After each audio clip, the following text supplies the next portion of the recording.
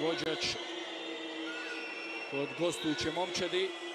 Šetka protiv e, Popadića. Popadić koji je fantastičan e, što se tiče branjanja peteraca i ovdje je pročitao vratar Juga stranu, ali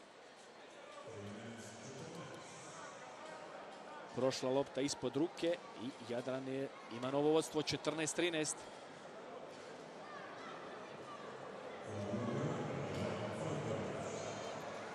Fatović je promašio jedan e, peterac u igri, promašio ga i ovdje. Ponovno Fatović